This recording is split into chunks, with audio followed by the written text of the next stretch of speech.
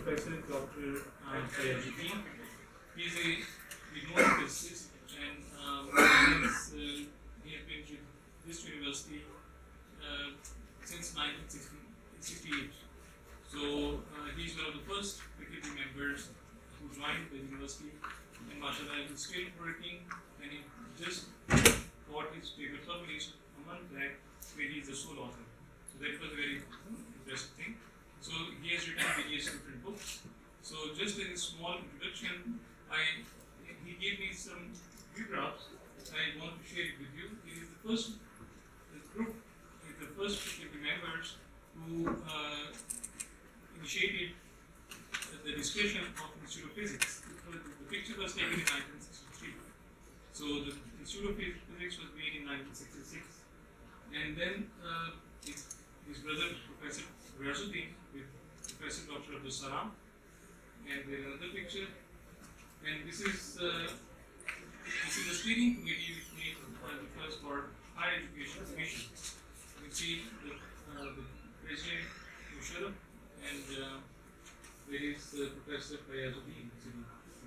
Professor Fayyazuddin sitting. Uh, and this is uh, the time when NCP was uh, inaugurated and with Professor Dr. Ishfaq, Yasmin Sir, Khalid Sir, yes, here available. This is a recent photo where we see various uh, young faces and we can recognize uh, Dr. Uh, Sam as well. So, and this is a picture with Professor and Fayyazuddin together. So with this I request Professor Fayyazuddin sir to please start. Just a few remarks about the educational system in Pakistan. That is, the broad based education generates both human and social capital. Social capital at its best is an environment in which art, literature, music, science, and other creative activities flourish. It enhances our vision and creates, respect for human life and dignity, democratic laws, and human rights. It also has a positive impact on the ethical values of our society. Human capital in the form of an educated population is needed to manage and develop educational, scientific, technological, industrial, agricultural and economic enterprises. Freedom of speech and freedom of thought, free of any ideological constraints, are essential ingredients for creativity and innovation. Unfortunately, our education base is poor, it is low in quantity, lacking in quality, and the curriculum, especially school curriculum, is too narrow. The progressive deterioration of the standards of human values clearly shows the deficiencies of our education system. Consequently, society has become more intolerant, more diverse, diverse more lawless, and bigoted, bigoted since the late 1970s. The, the standard of uh, personal honesty have gone down. There is no civic sensibility, no concern for hygiene, and the sense of social responsibilities are together lacking. So this was the brief introduction for the broad-based education. Now I will come to the state of higher education in Pakistan.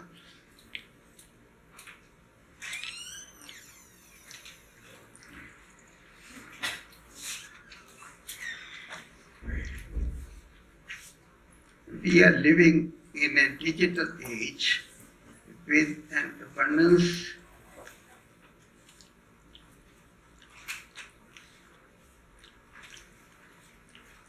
So we are living in a digital age with an abundance of information but lack of understanding and a dearth of feeling. Information and knowledge are first assimilated then used. In this process, the role of university is crucial through the interaction of the faculty and students to assimilate knowledge and in the generation of new knowledge. Education open up avenues to utilize innate abilities.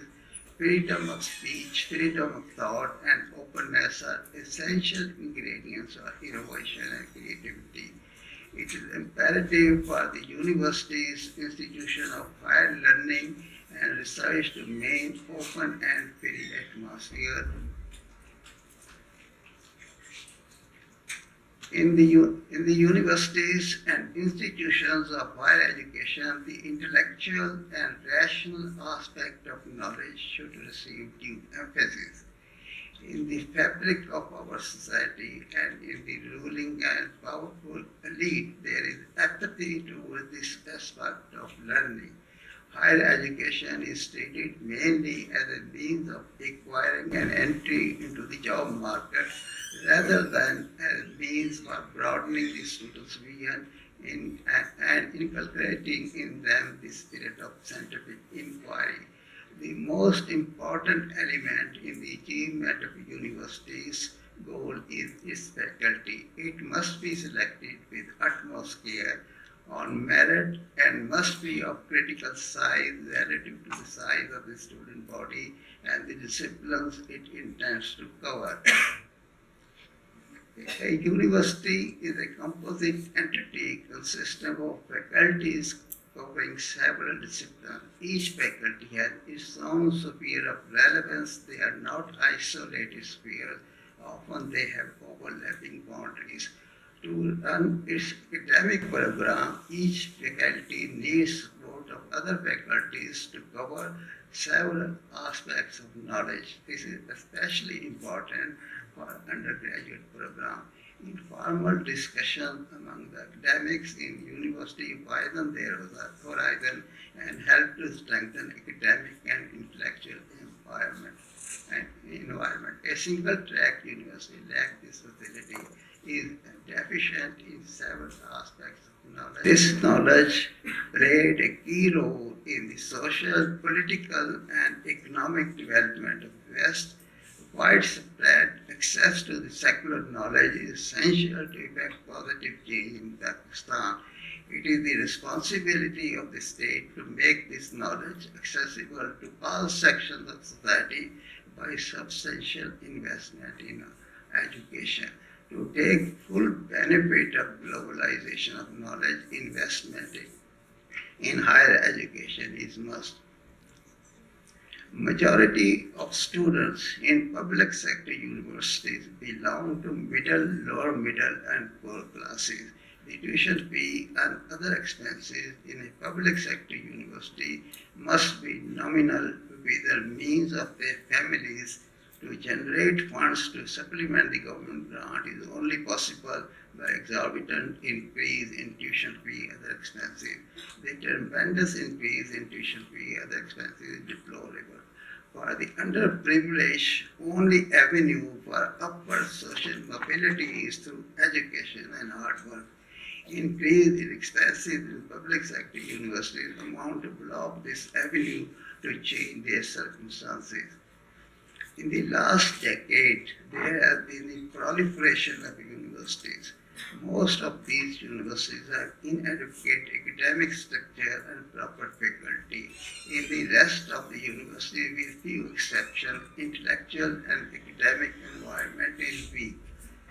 It is imperative to strengthen academic and intellectual base. This is only possible by the faculty with motivation, commitment, and above all, aspiration to be part of process of generation of knowledge. First, uh, first step in this direction is to move away from rote memorization with emphasis on understanding and analytical thinking. However, in most of the universities, the majority of faculty and students are unwilling or un- unable to make this transition. The other step is to foster basic and applied research even on modest scale. In a developing country, there is a paucity of experts. Critical evaluation of research is not feasible. It is essential to submit research papers to international journals with sound system of critical evaluation of research paper before publication.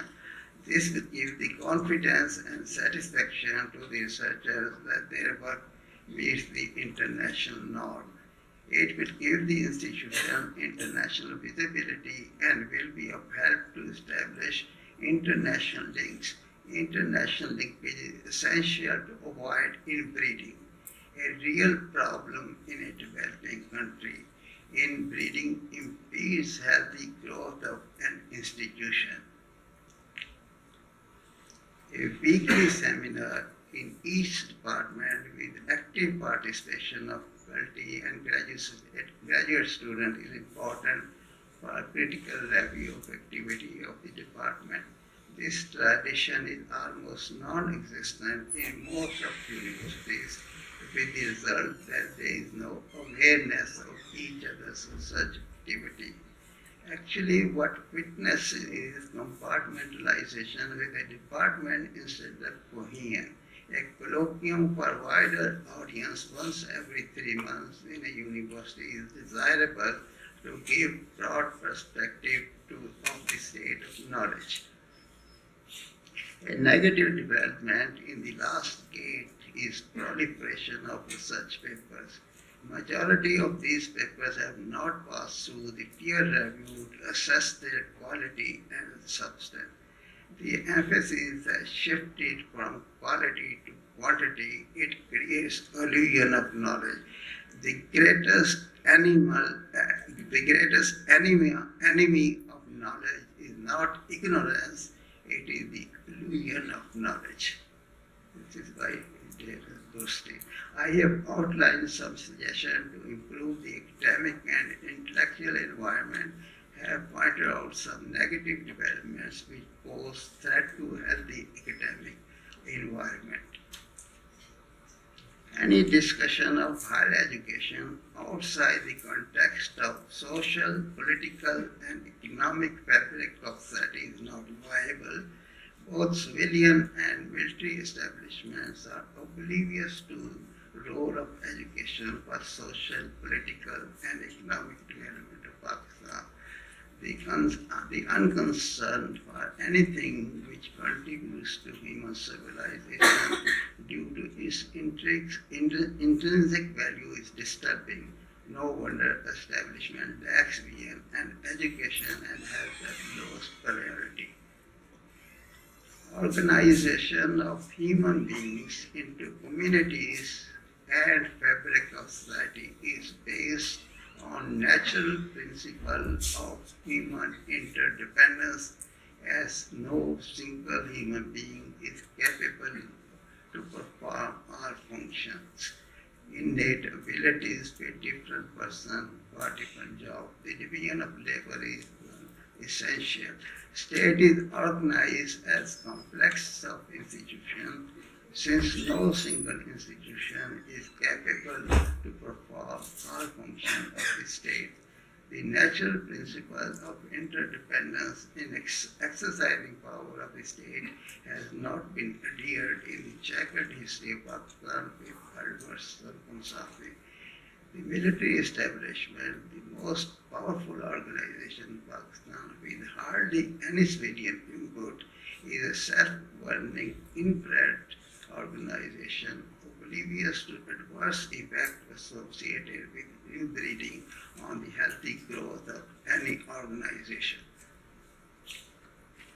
In our society and in the state institutions, there is a lack of sense of proportion what we mean by sense of weight is the capacity to take all important factors, attaching due weight to each factor in planning, formulation of policy and strategy. Lack of it is reflected in economy, foreign policy, and strategies of nuclear security, national security. Basic reason is an establishment tends to ignore important factors not in harmony with its aspiration, more powerful and establishment, more this tendency. lack of natural principle of interdependence and sense of proportional is also reflected in formulating policy of higher education in planning research program and facilities. Proliferation of universities, research papers, and research facilities with expensive equipment with no peer review of research proposal and with no regard to the potential uses of these equipments are some of the consequences. Finally, finally there is another as, uh, important aspect of higher education. It concerns the audience with student. Learning is a both-way process involving teachers and students. In case audience is failure, no system of higher education can succeed. The failure of our audience in Pakistan should not be taken lightly. Let me tell you a story. Oscar Wilde was sitting in a club to forget the failure of his play. Somebody came to sympathize with him. Oscar Wilde said, play was success, audience was failure. So the failure of audience in Pakistan should not be taken lightly. Success of higher education is dependent on motivation, commitment, and above all, the aspiration to learn. It requires efforts to take lecture notes, doing class assignment regularly, writing reports, essays, and active participation in seminars and discussion. I am sorry to say that with my long experience in higher education, most of the students take little interest in these activities. It is unfair to exclusively blame them. The atmosphere in most of the universities is not congenial for these activities. This is the fault of the faculty. The students are ambitious, impatient, are in a hurry to go to the top. A person in hurry usually stumbles. Educated youth yearn for change. They want change without changing themselves. They live in in, in the belief that someone will change everything for them. Any person who claims to have answers to every problem is the most ignorant person. Unhappy is the land which brings no hero. No unhappy is the land which needs a hero. Galileo in the play by Brecht. as the industrial pollution poses a long-term threat to the natural environment which could affect the quality of life, the internet pollution poses a threat to the academic and intellectual environment which would affect the quality of knowledge. I will end this part of my talk with this quotation. Perhaps one should be conscious of the moment when man's inventiveness finally outbalanced his moral growth and toppled him downhill. So this was this I have taken from E.M. Forster in his essay Post Munich, which wrote in a different context. Perhaps history will point to these years in the moment when man's inventiveness finally outbalances moral growth and toppled here This was E.M. Forster, who has written a very uh, uh, gave the two cheers for democracy in his essay, and this, his essay also include an essay on Iqbal also. So now I will come to the specifically to the Kaida University. First I will discuss the history of that. President Ayub Khan was the prime mover behind shifting the federal capital from Karachi to the new planned city of Islamabad near Rawalpindi, the headquarters of Pakistan Army. Ayub proposed to build a university in the federal capital. Dr. Raziuddin was appointed the vice chancellor of the university. The government of Pakistan able to get generous grants from the Ford Foundation and the United Nations Development Fund, UNDP, for the existing for the university. The Ford Foundation grant was for short-term visit of the faculty to attend conferences, other institutions abroad. and inviting the eminent scientists from the other countries for short visit to the Islamabad University as it was called at that time. So, under Ford Foundation grant, Edward Stone was to design the campus in the scenic land marked for the university near the diplomatic enclave. Taxila near Islamabad was the seat of the ancient glorious Buddhist Gandhara civilization. The remains of the ancient city, in particular the remains of a monastery on a hill near Taxila were of interest to Stone as he began designing the university campus. As is well known, in ancient times, the monasteries were the seats of learning. Edward Stone designed academic blocks of the university in the form of quadrangles. His design tried to harmonize with the natural terrain with the blocks built at different attitudes in accordance, altitudes in accordance with the uh, stratification. Now, this was the brief history of the uh, establishment of Islamabad University as it was called. In the existing universities in Pakistan, no systematic program for graduate, postgraduate studies and research was visible. President Ayub Khan proposed a federal university with Dr. Raziuddin Siddiqui as vice chancellor. The university will focus on graduate, postgraduate studies and research. It was advised to have five institutes, four in natural sciences, physics, mathematics, chemistry, biology, and one in social sciences, covering economics, international relations, and cultural history. Islamabad University started function at least the Institute of Physics in October 1966 in rented, rented buildings located in the satellite town. Physicist Riazuddin, my twin brother, a close associate of uh, Abdus Salam, joined the Islamabad University as founding director of the Institute of Physics and managed to attract over a dozen promising physicists trained in highly reputed foreign universities belonging to both East and West Pakistan.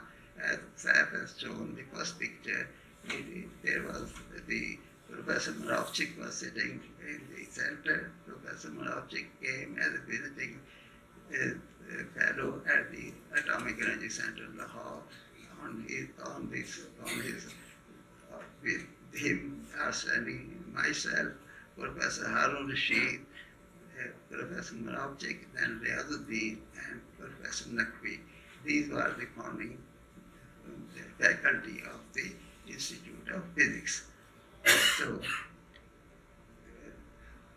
the atmosphere at the Institute was conducive to research marked by openness.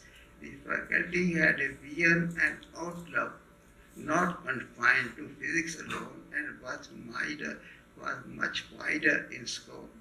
The high academic standard was strengthened by distinguished visiting faculty from abroad who Riyaz was able to invite for a short visit using generous grant from the Ford Foundation.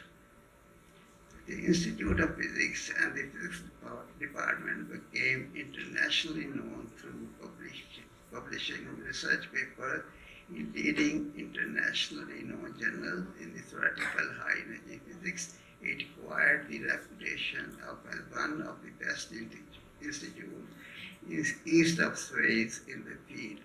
International visibility is supplemented by the short-term visits to International Center for Theoretical Physics, which is now named as Abdus Salam ICTP, was essential in establishing and maintaining links to international community.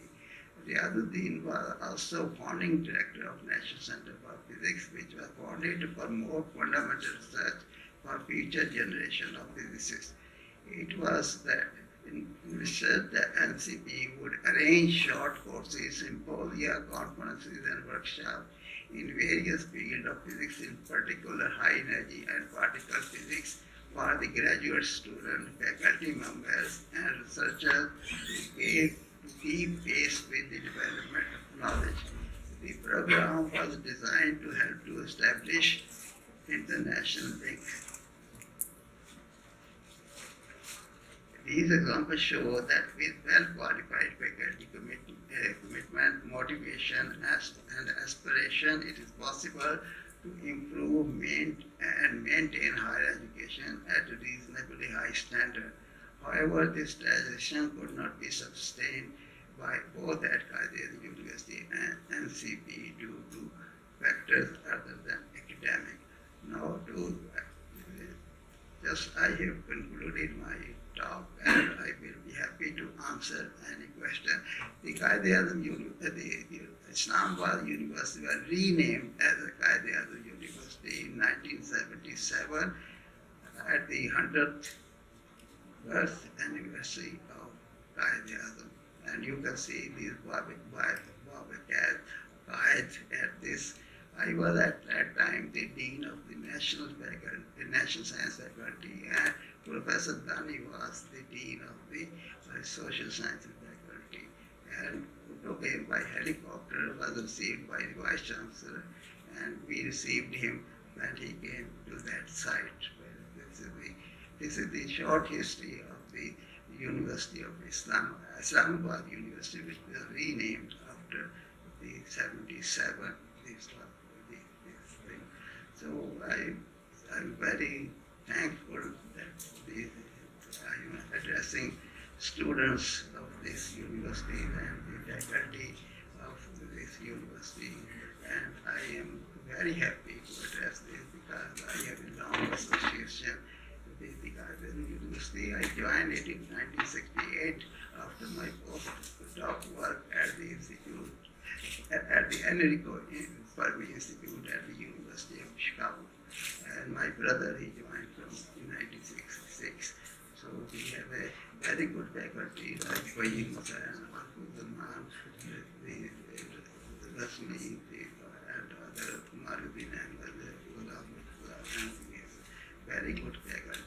from East Pakistan, East Pakistan, and the, the, the economics department was headed by a very famous economist from the, East Pakistan, and the IR was also headed by some eminent persons, and it has produced some good uh, crop of students. So this is how we come to this, and, and I will be, uh, glad to answer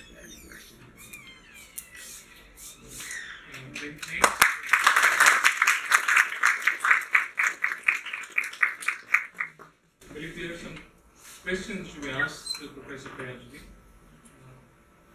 Go ahead.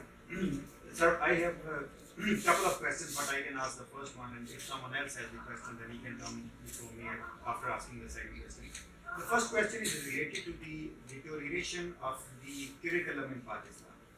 You see, what, when, when I see the curriculum that you have read, because when, when we talk together on different Yes. events, Yes, you told me that you have a very broad base even at the college age. yes. So- Exactly when this component started missing in our education system. I think that when we were student, uh, both of us were student at Islami High School, Ludhiana, we migrated from Ludhiana. In our Urdu book, which is the Khayaban Urdu, published by Darul Rashad from Lahore, in that Urdu book, we have read, uh, we have read the story of Helen of Troy. We have read the other very important uh, stories, and we have read a very short story by Munshi Premchand, that is the Panchayat, that is the Panchayat, and it covers wide spectrum, wide spectrum. Harun, सुकरात था ये इसने जहर का फैला दिया these all stories were there. Discovery of penicillin by Sir Alexander Fleming was also part of that. So it has also some good poetry about Ghalib. अब तक बड़ा ये कहते मर जाएँगे मर के भी चैन न पाया तक किधर जाएँगे very popular with Ghalib. Ghalib said मेरे पास सब देव होया जब कोई दूसरा नहीं होता I was also very impressed. That so there was a poetry, there was this, there was also not the मौलाना जफर करीम वो शमा उजाला जिसने किए चालीस बारों में by Maulana Zafar Ali Zafar Ali Khan so it contained the this wide spectrum unlike the curriculum which was changed in the whole of time which was very narrow and that is why we have this uh, intolerance and bigotry and not respect for these uh, minorities and other the reason and in our inter, in our uh, BA, BA because we have subject of the physics, mathematics, and English was compulsory. English was compulsory. In English course, at that time, we have two, two dramas from Shakespeare in our which, was changed in, in our when we were at Government College Lahore our uh, we have Othello as a tragedy and as you like it as a comedy. That was two from this.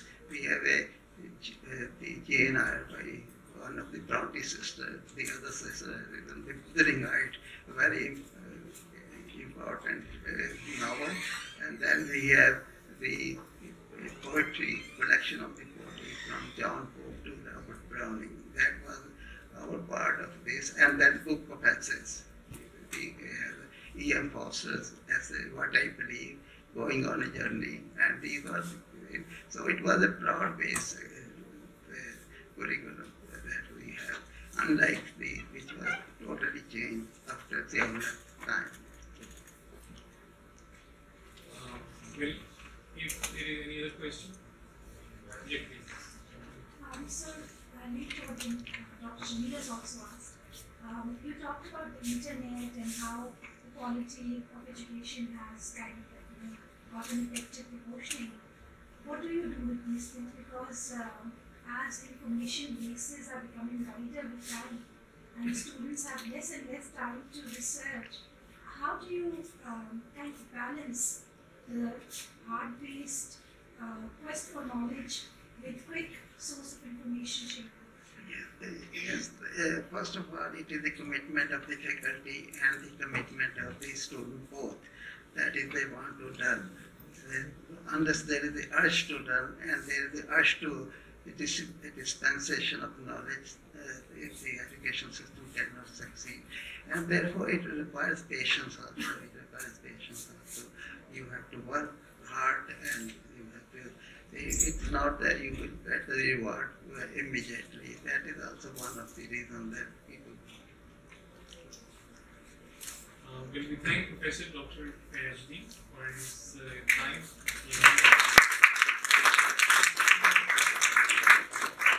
Bismillahirrahmanirrahim. Uh, I think uh, this is something very good which the 50th anniversary committee has done by having this series of speakers here at Quaid University and to have one of the pioneers of Quaid University be at this event is really heartwarming. A suggestion that I would make, I met Dr. S.M. Naseem, who, whom I'm Dr. Saab knows well, also one of the early pioneers in economics, um, a Yale University educated economist. I met him not too long ago, and he said, We must sit down and write a history of Quaid University before it is too late. Uh, it is heartwarming that the pioneers are still amongst us, and I would ask Dr. Saab if you would also participate. I'm going to suggest to the history department, I've actually already talked to a couple of faculty members there, to write a history of the first 50 years of Quaid University, especially the early years. And sir, it's been people like you who built this university to what it is. We are all very thankful to you from the core of our hearts. Thank you.